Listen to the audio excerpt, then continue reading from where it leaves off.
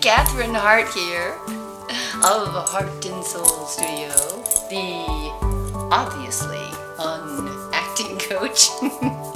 here with, oh, Atticus who is having a nirvana moment from Neck Scratches, and Boo. Boo, can you say hello?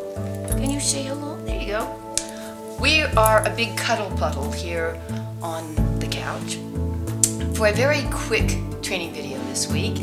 This training video is just saying thank you.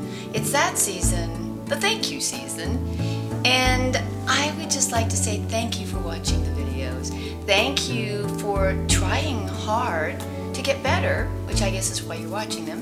Thank you for sharing them with your friends who you think they might help too. And also, the lesson for acting today If you do an audition, be nice enough and gracious enough to thank the casting director for their time.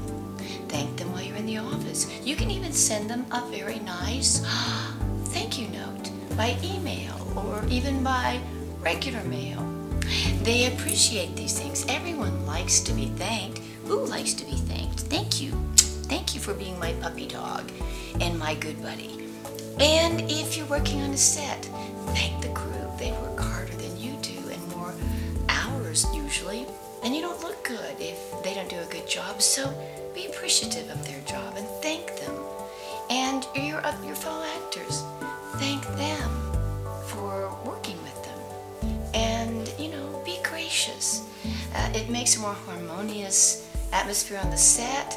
Your creative juices work better if you're all working together. And everybody, including you, will have a better day because you had gratitude and respect for others and were gracious enough to just say thank you. It goes a long way. I remember you when you thank me for a class or something that I did. It makes me feel like there, it was worth it likes to be thanked. So,